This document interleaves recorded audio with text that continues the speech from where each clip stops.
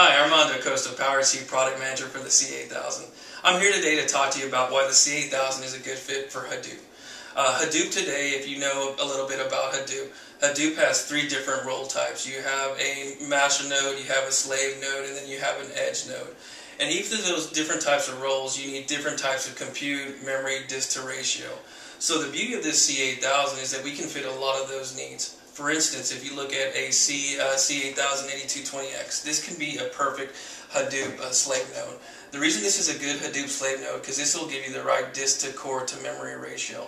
For one example, we can put two 6-core Intel processors in here.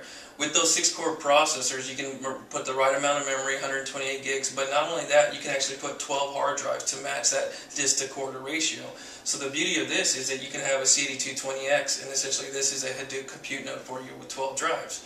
We can put up to four of these in the chassis, so you can actually have four Hadoop nodes in a 4U chassis. Now another example I want to talk to you about is a storage node.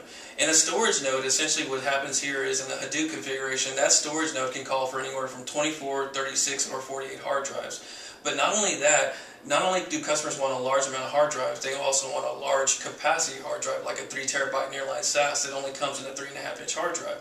So the beauty of this C8000 is that we have the C8220, which is a single width compute sled.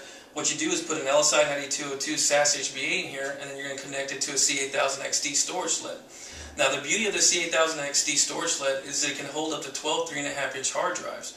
So if you had a customer that needed a Hadoop storage node with 24 drives, essentially what you would have is one single width compute sled attached to double, uh, two double wide storage sleds, and then essentially you'd have your 24 hard drives allocated to that storage node. Now the beauty of that is that essentially you can put multiple of those nodes in one 4U chassis. So that's a quick detail of where the C8000 fits for your Hadoop reference architectures. If you'd like more information, please visit www.dell.com backslash poweredgec for more detail. Thank you and have a great day.